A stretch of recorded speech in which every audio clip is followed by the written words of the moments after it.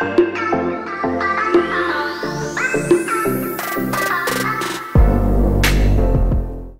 ഈ channel subscribe ചെയ്തിട്ടില്ല എങ്കിൽ സബ്സ്ക്രൈബ് ചെയ്യുക. പുതുപുത്തൻ വാർത്തകൾ ആദ്യം തന്നെ ലഭിക്കാൻ ബെൽ ഐക്കൺ കൂടി ക്ലിക്ക് ചെയ്യുക. ഏത് ആപത്ഘട്ടങ്ങളിലും പരസ്പരം സഹായിക്കാൻ മുൻപന്തിയിലാണ് നമ്മൾ കേരളീയർ. അത് പലതവണ നമ്മൾ അനുഭവിച്ചറിഞ്ഞിട്ടുള്ളതുമാണ്. കാരണം ഇത് കേരളമാണ്. ഇവിടെ ഇങ്ങനെയാണ് എന്ന് തെളിയിക്കപ്പെടുകയാണ് വീണ്ടും. സോഷ്യൽ മീഡിയയിൽ വൈറലായ ഒരു വീഡിയോ ആയിരുന്നു വാഹനം മാറ്റിയതിന്റെ പേരിൽ റിങ്കു എന്ന ചെറുപ്പക്കാരനായ സെക്യൂരിറ്റി ജീവനക്കാരന്റെ കരണത്തടിച്ച യുവതിയുടെ വീഡിയോ. നിരവധി പേരാണ് യുവതിക്കെതിരെ ശക്തമായ പ്രതികരണവുമായി രംഗത്ത് വന്നത്.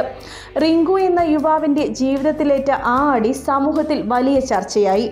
ഇതിനു പിന്നാലെ കേരളം അയാൾക്കൊപ്പമാണെന്ന് തെളിയിക്കുകയാണ് കുറെ മനുഷ്യർ. പ്രമുഖ ന്യൂസ് ചാനൽ ഫേസ്ബുക്ക് പേജിൽ പങ്കുവച്ച റിങ്കുവിന്റെ വാർത്തയ്ക്ക് ചുവട്ടിൽ സഹായ വാഗ്ദാനവുമായി രംഗത്തെത്തിയത് ഒട്ടേറെ പേരാണ്. ഇക്കൂട്ടത്തിൽ മനോജ് മനോഹരൻ എന്ന വ്യക്തിയുടെ കമന്റ് ഏറെ ശ്രദ്ധേയമാണ്. റിങ്കുവിന് എന്റെ കേരള ഹോട്ടൽ തിരുവനന്തപുരം എന്ന സ്ഥാപനത്തിൽ ജോലി നൽകാൻ തയ്യാറാണ്. ഭക്ഷണവും താമസവും പതിനാറായിരം രൂപ ശമ്പളവും നൽകാം. മൊബൈൽ ഫോൺ നമ്പർ ഉൾപ്പെടെ പങ്കുവച്ചാണ് ന്യൂസ് പേജിന്റെ കമന്റ് ബോക്സിൽ കുറിപ്പിട്ടത്. ഇതിനു പിന്നാലെ മനോജുമായി ബന്ധപ്പെട്ടപ്പോൾ ഹൃദ്യമായ മറുപടിയാണ് ലഭിച്ചത്. കമന്റ് കണ്ടിട്ട് റിങ്കുവുമായി പരിചയമുള്ള ഒരു സുഹൃത്ത് വിളിച്ചിരുന്നെന്നും ഉടൻ തന്നെ റിങ്കുവുമായി ബന്ധപ്പെടാനുള്ള അവസരം ഉണ്ടാക്കാമെന്നും സുഹൃത്ത് പറഞ്ഞതായി പറഞ്ഞു. സമാന ജീവിത സാഹചര്യങ്ങളിലുള്ള പതിനെട്ട് പേരാണ് മനോജിന്റെ ഹോട്ടലിൽ ജോലി ചെയ്യുന്നത്. ഇവരെയെല്ലാം സാമൂഹ്യ മാധ്യമങ്ങളിൽ നിന്നാണ് കണ്ടെത്തിയതെന്നും മനോജ് പറയുന്നു. തിരുവനന്തപുരം കഴക്കൂട്ടം ആക്കുളത്തിന് സമീപമാണ് മനോജിന്റെ കേരള ഹോട്ടൽ. കേരളക്കരയെ കണ്ണീരിലാഴ്ത്തുന്ന റിങ്കുവിന്റെ ജീവിതം ഇങ്ങനെ. ഉടൻ ശസ്ത്രക്രിയ നടത്തിയില്ലെങ്കിൽ അമ്മ ഒരു വർഷത്തിൽ കൂടുതൽ ജീവിച്ചിരിക്കില്ലെന്ന് ഡോക്ടർമാർ പറഞ്ഞു. ആ വാക്കുകൾ ചെവിയിലെത്തി. കുറച്ചു സമയങ്ങൾക്കുള്ളിലാണ് റിങ്കു എന്ന ചെറുപ്പക്കാരനെ ഒരു കാരണവുമില്ലാതെ യുവതി മുഖത്തടിച്ചത്. അടികൊണ്ടതാകട്ടെ ചെവിയിലും. ഇന്നും ആ വേദന മാറിയിട്ടില്ല. ജീവിതത്തിൽ ഒട്ടേറെ പ്രശ്നങ്ങൾക്ക് പരിഹാരം തേടിയാണ് റിങ്കു എന്ന എഞ്ചിനീയറിംഗ് വിദ്യാർത്ഥി കൂടിയായ യുവാവ് ഒരു സെക്യൂരിറ്റി ജീവനക്കാരനായി മാറിയത്. എഞ്ചിനീയറിംഗ് കോളേജുകാർ തടഞ്ഞുവെച്ച സർട്ടിഫിക്കറ്റുകൾ വീണ്ടെടുക്കണം. അമ്മയ്ക്ക് ഹൃദയ ശസ്ത്രക്രിയ നടത്തണം. ഫീസ് അടയ്ക്കാൻ പണമില്ലാതെ എഞ്ചിനീയറിംഗ് പഠനം നിർത്തിയ റിങ്കുവിന്റെ സ്വപ്നങ്ങൾ ഇങ്ങനെയാണ്. ഈ ചെറുപ്പക്കാരനെയാണ് ആര്യ എന്ന യുവതി പരസ്യമായി മുഖത്തടിച്ചത്. കേസിൽ നിന്നും രക്ഷപ്പെടാൻ റിങ്കുവിനെ പ്രതിയാക്കുമെന്ന് ഭീഷണിയും മുഴക്കിയിരുന്നു. കാർ പാർക്കിംഗ് ഏരിയയിൽ യുവതി വെച്ച സ്കൂട്ടർ ആശുപത്രി അധികൃതരുടെ നിർദ്ദേശപ്രകാരം നീക്കിവെച്ചതിൽ അരിശം പൂണ്ടാണ് യുവതി ജനങ്ങൾ നോക്കി നിൽക്കെ റിങ്കുവിന്റെ മുഖത്ത് ആഞ്ഞടിച്ചത്. കൊച്ചി സർവകലാശാല വനിതാ ഹോസ്റ്റലിൽ താൽക്കാലിക മാട്രിനായ കൊയിലാണ്ടി കാവിൽദേശം സ്വദേശി ആര്യയെ പത്ത് ദിവസത്തിനു ശേഷം പോലീസ് അറസ്റ്റ് ചെയ്തു. കേസും അറസ്റ്റും നീണ്ടപ്പോൾ ക്രൂരമായ മർദ്ദനത്തിന്റെ സി സി ടി വി ദൃശ്യവും പോലീസിനെതിരായ പരിഹാസ ട്രോളുകളും സാമൂഹ്യ മാധ്യമങ്ങളിൽ ചാരം നേടി. അതോടെ അറസ്റ്റ് രേഖപ്പെടുത്താൻ പോലീസ് നിർബന്ധിതരാവുകയായിരുന്നു. യുവതിയുടെ മർദ്ദനമേറ്റിട്ടും പ്രകോപിതനാകാതെ റിങ്കു ജോലി തുടർന്നു. നാട്ടുകാർ യുവതിയെ തടഞ്ഞുവെച്ച് പോലീസിന് കൈമാറിയെങ്കിലും വിട്ടയച്ചത് പ്രതിഷേധത്തിന് ഇടയാക്കിയിരുന്നു. മാവേലിക്കരയ്ക്ക് സമീപം തഴക്കര പഞ്ചായത്ത് അറുന്നൂറ്റിമംഗലം കുമ്പംപുഴ വീട്ടിൽ റോസമ്മയുടെ ഏക മകനാണ് Rinku.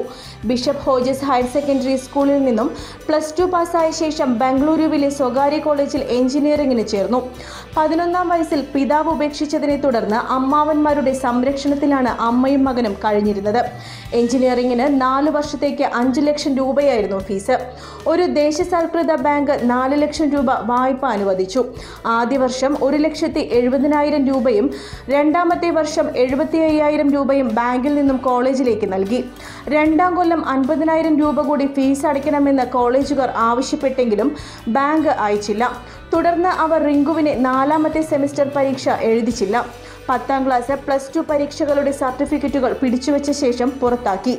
രണ്ടായിരത്തി പന്ത്രണ്ടിൽ ബാംഗ്ലൂരുവിൽ നിന്നും നാട്ടിൽ തിരിച്ചെത്തിയ റിങ്കു ഇലക്ട്രീഷ്യന്റെ സഹായിയായി കൂടി. അതിൽ നിന്നും വരുമാനമൊന്നും ലഭിച്ചില്ല. നാട്ടിൽ I E L T S സ്ഥാപനത്തിൽ വനിതാ ഹോസ്റ്റൽ വാർഡനായി ജോലി ചെയ്താണ് അമ്മ റോസമ്മ കുടുംബം പുലർത്തിയത്. നേരത്തെ മുതൽ ഹൃദയ സംബന്ധമായ അസുഖമുള്ളയാളാണ് റോസമ്മ. രണ്ടായിരത്തി പതിനേഴിൽ ഡെങ്കിപ്പനി പിടിപെട്ടതോടെ രോഗം മൂർച്ഛിച്ചു. ശസ്ത്രക്രിയയ്ക്ക് രണ്ട് ലക്ഷം രൂപ ചിലവാകുമെന്ന് ഡോക്ടർമാർ പറഞ്ഞു. ഇതിനും സർട്ടിഫിക്കറ്റുകൾ തിരികെ വാങ്ങാനുള്ള അൻപതിനായിരം രൂപയും സ്വരൂപിക്കാനാണ് റിങ്കു സെക്യൂരിറ്റി ജോലിക്ക് ചേർന്നത്. പാർട്ട് ടൈമായി പഠിക്കാമെന്ന് ചിന്തിച്ചു. കൊച്ചിയിൽ കെട്ടിട നിർമ്മാണ സൈറ്റിലായിരുന്നു ആദ്യം ജോലി. ഓഗസ്റ്റിൽ Aluva doctor Tony Fernandez eye ഹോസ്പിറ്റലിലേക്ക് മാറിയത്. മർദ്ദനമേറ്റ ദിവസം താൻ വല്ലാതെ അസ്വസ്ഥനായിരുന്നുവെന്ന് റിങ്കു പറഞ്ഞു. അന്നു രാവിലെ അമ്മ വിളിച്ച് ഉടൻ ശസ്ത്രക്രിയ നടത്തിയില്ലെങ്കിൽ ഒരു വർഷത്തിൽ കൂടുതൽ ജീവിച്ചിരിക്കില്ലെന്ന് ഡോക്ടർമാർ പറഞ്ഞതായി അറിയിച്ചതാണ് കാരണം. യുവതിയുടെ അടി ചെവിയിലാണ് കൊണ്ടതെന്നും റിങ്കു പറഞ്ഞു. അന്നു മുതൽ ചെവിക്ക് വേദനയുണ്ട്. ജില്ലാ ആശുപത്രിയിൽ ചികിത്സ തേടി. ഇതിനിടെ യുവതിയുടെ പരാതിയിൽ റിങ്കുവിനെ പ്രതിയാക്കി ജാമ്യം കിട്ടാത്ത വകുപ്പുകളിട്ട് കൗണ്ടർ കേസെടുക്കുമെന്ന് ഭീഷണിയും ഉയർന്നു. Anwar Sadat M L A അടക്കമുള്ളവർ ഇടപെട്ടതോടെയാണ് അത് ഒഴിവായത്. അഹങ്കാരം മൂത്ത് അടിച്ചത് ആ ചെറുപ്പക്കാരന്റെ മുഖത്താണെങ്കിലും കൊണ്ടത് കേരളക്കരയുടെ നെഞ്ചിലാണ്. ഏതായാലും റിങ്കുവിന് ജോലി വാഗ്ദാനം നൽകിയ മനോജിന് നൽകാം ഇന്നത്തെ നമ്മുടെ ലൈക്കും ഷെയറും. വീഡിയോ ഇഷ്ടമായെങ്കിൽ ലൈക്ക് ചെയ്യുക കൂടുതൽ വാർത്തകളും വിശേഷങ്ങളും അറിയാൻ ഈ ചാനൽ സബ്സ്ക്രൈബ് ചെയ്യുക. നന്ദി.